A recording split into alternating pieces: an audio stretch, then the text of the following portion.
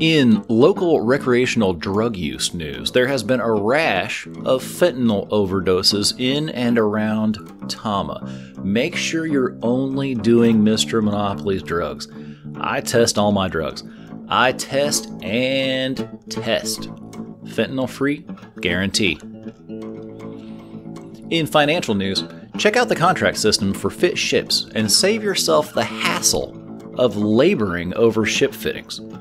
Over in Heydieles, you can pick up the Rusty Log Punisher for 13 million ISK and the Kite Tristan for the same amount, 13 million ISK. That's a nice price. Here in Tama, we have a brand new stock of Tier 1 Instant Lock Thrashers provided by Glen Burnie, a very reputable dealer locally. 10 million ISK. Bring your whole crew down and pop some people in Black Rise. Tama hits different, of course, as you might expect. You can stop through Tama and pick up a Phoenix Navy issue if you want to. Treat yourself right. Just 6.5 billion. Not a paid promotion. The EVE Vanguard First Strike starts in less than two days. I have been thinking about the old days, the Dust 514 days. Check this out.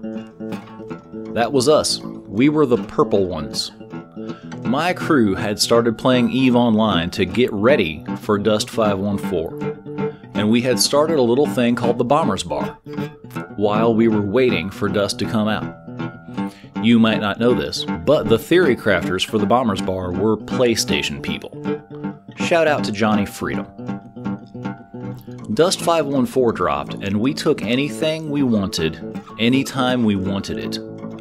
I was dropping orbitals and listening to the combat voice from the ground. It was really, really great. So I'm ready to wreck some fools in Vanguard. But I'm not getting sweaty this time. I'm just going to take over the world without getting sweaty.